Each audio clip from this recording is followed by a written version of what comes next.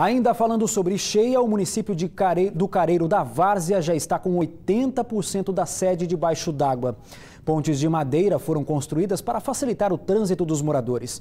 Na Praça Central, os donos das lanchonetes construíram marombas para continuar atendendo os clientes. Os bancos servem agora para atracar as canoas. Nem a igreja de Nossa Senhora do Perpétuo Socorro está livre de enchente. Faltam poucos metros, olha só, para que a água chegue até a matriz.